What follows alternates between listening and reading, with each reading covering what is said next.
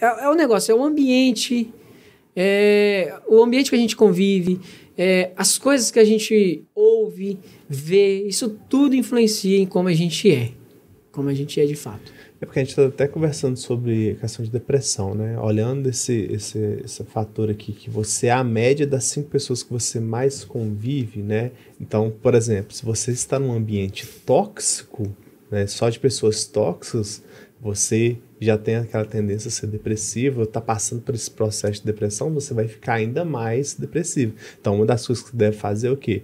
sair desse ambiente, né? Se afastar desse ambiente que está sendo muito prejudicial. Você. você pode sair desse ambiente ou você pode modificar esse ambiente.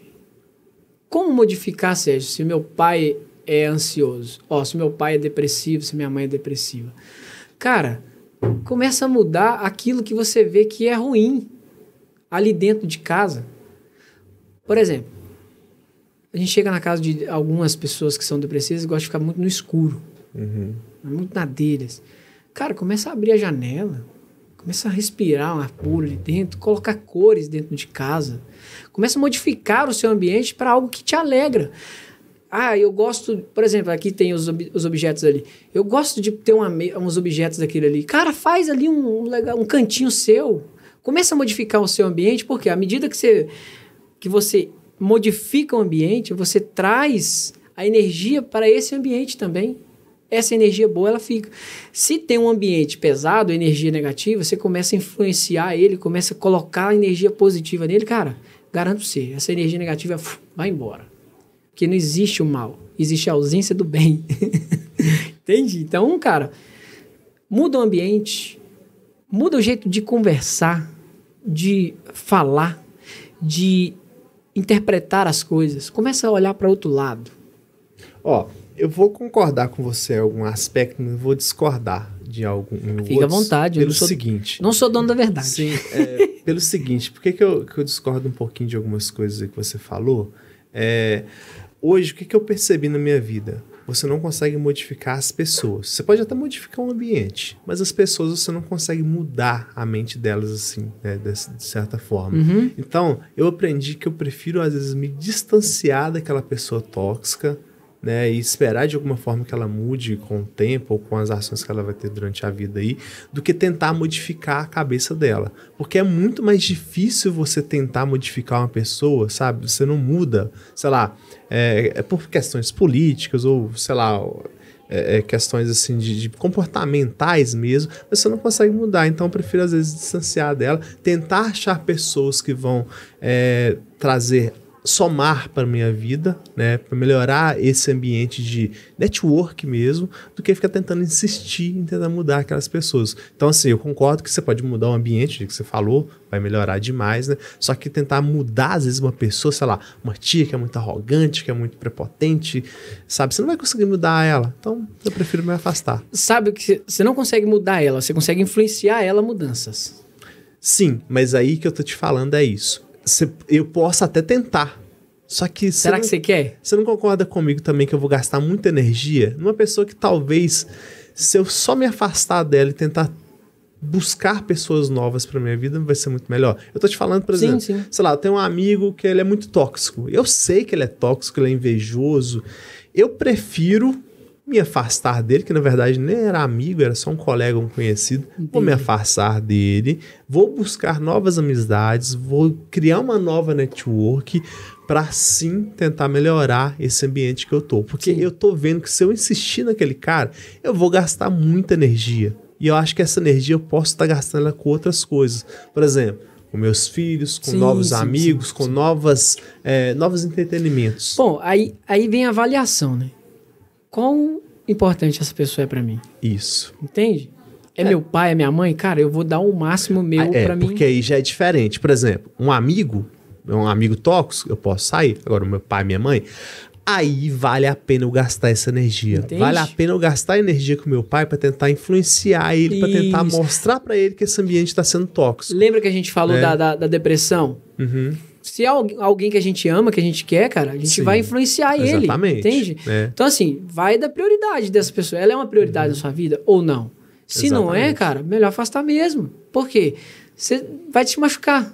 Então, já melhor eu afastar. Não tenho raiva. Tem um negócio que fala assim: ah, eu quero conversar, eu, é, eu perdoo, mas não converso. Cara, você não precisa ficar vivendo com essa pessoa, não. Cara, só não guardar mágoa dela. É, mas não é guarda exa- mal dela. exatamente isso que eu faço. Exatamente isso.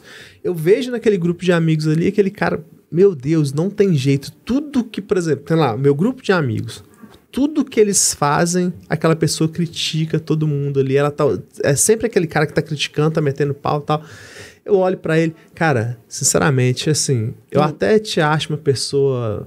Tirando isso aí, eu acho você uma pessoa bacaninha e tal, mas eu não vou gastar energia com você. Eu vou simplesmente me afastar de você e vou buscar gastar essa energia que eu deveria gastar com você em outras pessoas. Sim, é o que famoso assim, mano, eu prefiro me afastar do que dar um problema pra É, gente. mas eu não tenho mágoa de você, Mas não. eu não tenho Pode nada ficar- contra você, não. Pode ficar aí com a sua toxicidade Sim, bonitinha sim, sim, aí, mas eu não Isso é quero isso válido. pra minha vida. Isso é válido, muito, muito bom. Poxa vida, a gente tem que escolher com quem a gente anda, cara.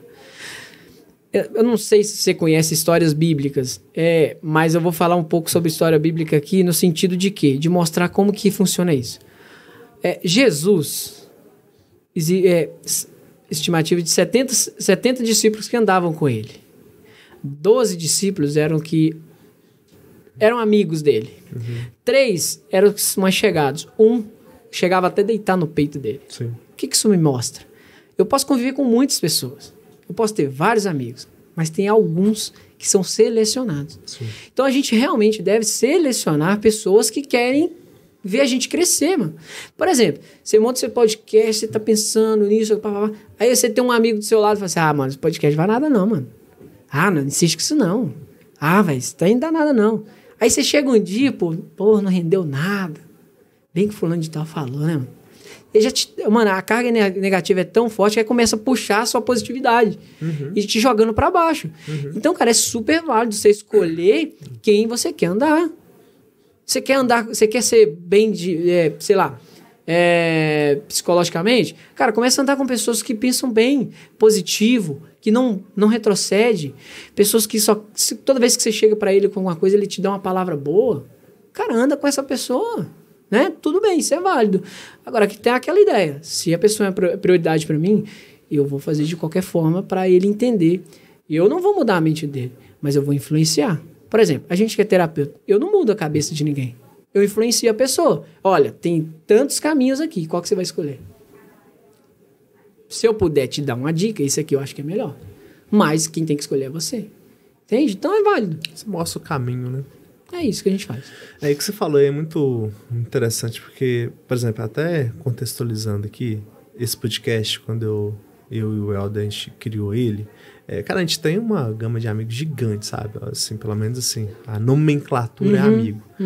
É, mas o que que eu vejo? É, parece que machuca você elogiar, parece que machuca você incentivar, dar uma força, porque a quantidade de amigos, colegas, barra colegas que eu tenho, é, se é, me incentivasse de alguma forma aqui, comentando alguma coisa é, nos comentários, né, é, compartilhando algum tema que eles gostaram e tal, ia me dar muita força aqui. Só que o que eu vejo, a galera vem às vezes no meu WhatsApp, vem no meu direct, ó, oh, Edgar, tá muito bacana, tá, tá gostoso de ver, tá muito legal e tal.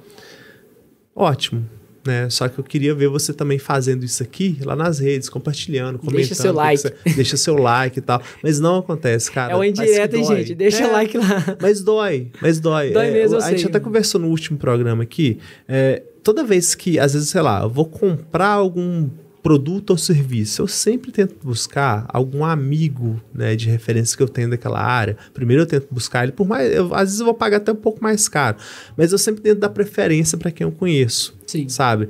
De alguma forma. Às vezes, sei lá, eu vejo uma página de um amigo meu que tá tentando trabalhar lá, eu trabalho com eles já, eu tento dar uma força, ajudo. Quem me conhece sabe que eu faço isso.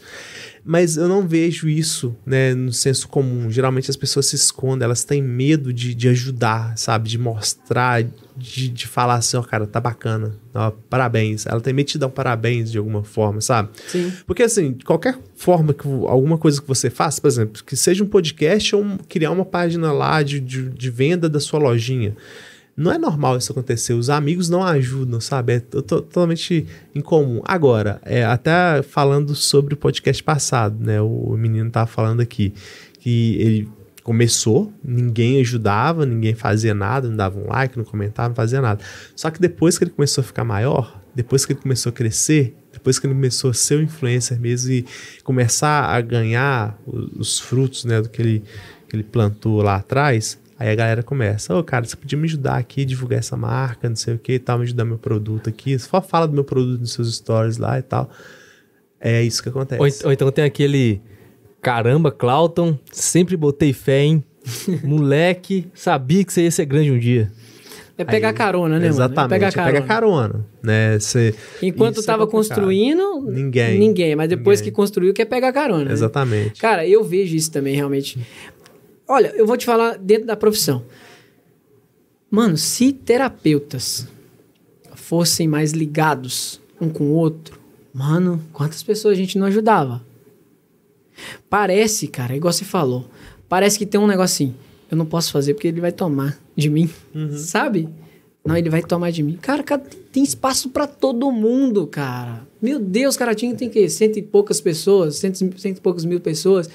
Imagina 10% disso, sei lá, que pode ter um problema. É mais, né? Mas 10%. Olha, a gente não dá conta de atender, mano. Entende? Então é toda a área, cara. Se a pessoa pensasse assim, caramba, vamos deixar um like lá? Um like ajuda muito, mano. Vamos compartilhar aqui numa coisa aqui? Cara, faz um compartilhamento, sei lá, um por mês, já ajuda muito. O cara fez, a gente, né, cria ali um, um, um enredo, uma história, a gente faz vídeo, a gente faz tudo para levar conhecimento para as pessoas, levar entretenimento. Aí os mais os que falam que é amigo, olha e tá ficando metido. Tá famoso agora, abandonou a gente. Não é, mano.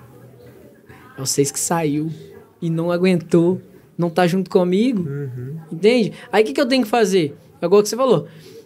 Eu comecei a envolver com gente que quis. E aí eu tô aqui com gente que quer. Aí depois que eu tô aqui comendo a picanha com quem quer, os que não queria quer comer picanha também. Pera aí, mano. Não. Tô, tô com os meus que me apoiaram. Ah, mas eu sou, sou, sou eu sou, te conheço desde pequeno. Te desde... Beleza, mano. Não tem nada contra você. Beleza, nossa história de amizade é legal. Mano, a gente é quase irmão. É, nós é irmão, mano. Mas, tá, quando eu precisei de um de uma ajuda simples, eu não, não pude contar com você. Eu não quero seu mal, quero que você cresça junto comigo. Faz aí, se você puder, eu até te ajudo, mano. Mas agora eu tô com outro, né? É isso, mano. A vida do ser humano é isso, cara. É sempre a gente querer ganhar mais. Eu quero ganhar mais. Aí tem um carro vendido, um carro que vale 50 mil, tá vendendo a 30. Caramba, vou comprar. Aí entra num fumo lá, estelionatário. Pum, por que que fez? Carro de 50 por 20, mano, por 30, você desconfia. Entende? Porque não eu quero ganhar. Eu vou comprar por 30, vou vender por, por 50, eu vou ganhar 20. Entende? É isso, mano. É aí que você fala. Vou pegar carona por quê? O Edgar agora tá crescendo. O Edgar, posta meu, minha loja aí, cara. Entendeu? Porque você tá tendo visualização e tudo. Mas e quando você tava começando? Por que, que você não falou Edgar? Fazer o seguinte, eu vou dar like, eu vou pedir meus funcionários. Você posta uma história lá para mim? Mano, você faz sem cobrar nada. Ó, isso aqui tava comigo desde o início, ó. Isso aqui pode fazer aí. Faz uma propaganda dele aí. Entende?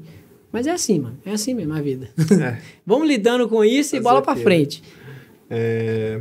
Vamos lá voltar aqui na pauta. Descontraída essa aqui, né? é. Eu acho que foi mais um desabafo, não foi, não, é, foi. repórter? É, mas eu, eu converso com muitos amigos meus, eu, eu já. Foi um divã a três isso aqui. São, são preguiçosos. Terapeutas sempre são assim. A gente mas... senta, vem alguém desabafar, mano. Não tem jeito. Mas é uma coisa que a gente já tá conversando há algum tempo aqui, né, repórter? É, é cara. Isso é, isso é complicado. Mano, é um isso faz parte da nossa evolução. Exatamente. Você aprende com isso. Você já sabe agora, quando alguém chegar comportando do jeito que o outro comportou, você fala, ixi, sai fora. Entende? É isso. Bora. Vamos lá.